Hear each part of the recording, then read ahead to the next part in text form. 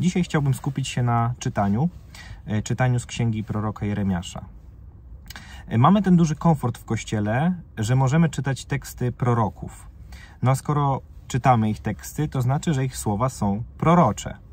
E, co to właściwie znaczy? To znaczy, że są aktualne tak samo wczoraj, tak samo dzisiaj, tak samo jutro, tak samo 2000 lat temu, jak i za 2000 lat.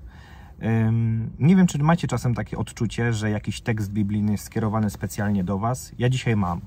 E, no bo tekst mówi o tym, że szczęśliwy, błogosławiony ten mąż, który pokłada nadzieję, pokłada ufność w Panu. Nie wiem, czy zwróciliście na to uwagę, jak często w Biblii, w tekstach biblijnych, przeróżnych, pojawia się temat zaufania Panu Bogu.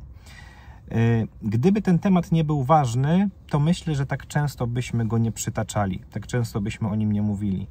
E, mam wrażenie, że wałkujemy go na wiele, wiele różnych sposobów. Dlaczego? No prawdopodobnie dlatego, że mamy z tym duży kłopot. Gdybyśmy z kłopotu takiego nie mieli, e, to może nie byłby ten temat tak powszechny i tak potrzebny.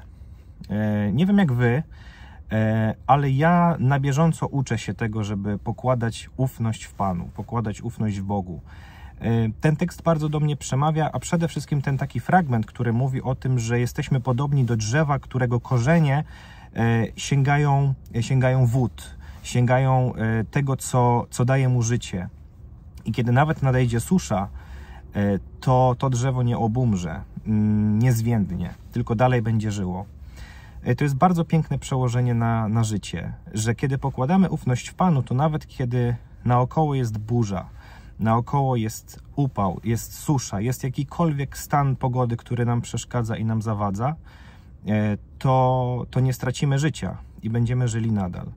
I to, co przede wszystkim mnie e, ujmuje w tym tekście, to właśnie to, jak trafny on jest dla każdego z nas, bo na, na bieżąco i na, na każdy czas musimy się tego zaufania uczyć, reperować albo zaczynać od zera. Nie wiem, czy też macie takie, takie poczucie, ale błogosławiony, szczęśliwy ten, który zaufał Panu Bogu.